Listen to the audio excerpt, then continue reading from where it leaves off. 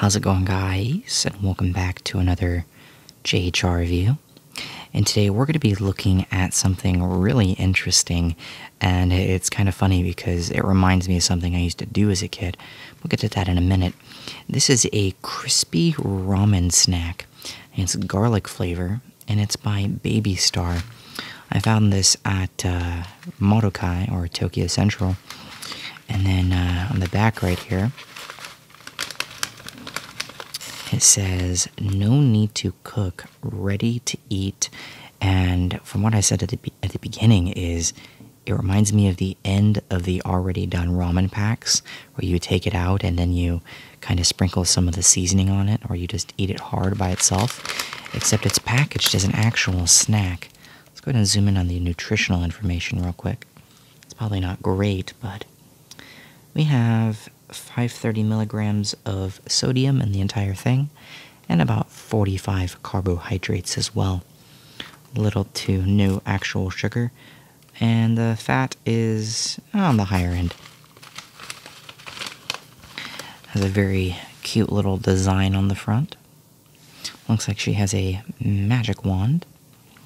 Without further ado, let's open this guy up and see what this tastes like. I wonder if it just tastes like kind of ramen noodles covered in flavoring. Let's go ahead and try it.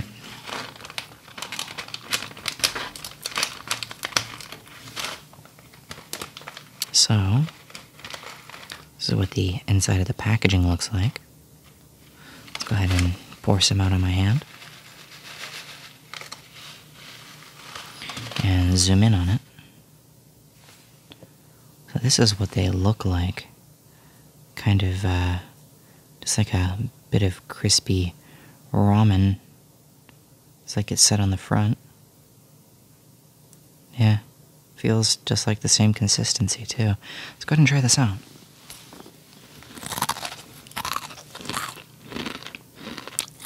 So, I would say that this is a little softer, or maybe the noodles are slightly thinner than actual, like, ramen ramen. What would be really interesting for me is if you got some of this and instead of eating it as a crispy ramen snack, you tried actually boiling it and seeing whether or not you could get it to taste like actual ramen. Kind of see if it's made of exactly the same thing. What do you guys think? Would you try that out? Try to make your own homemade cup of noodles or something like that? But it's really interesting. I've never seen something so based on what we all kind of know that we do. Um, you know, when you try to end little little bits of the ramen at the end, we all know we do that, but we never thought an actual snack would be made out of it. Pretty cool stuff. Really enjoyed it. The garlic flavors there. Not too much of a powder on it. It's just already in there, so it's not going to be super messy. And I don't really have anything on my hand either. But yeah, definitely would recommend this. I'd say it's a good uh, 10 out of 10 a huge shout out to my Patreons. Thank you guys so much for your support. You guys are awesome. If you enjoyed this video, don't forget to comment, rate, and subscribe.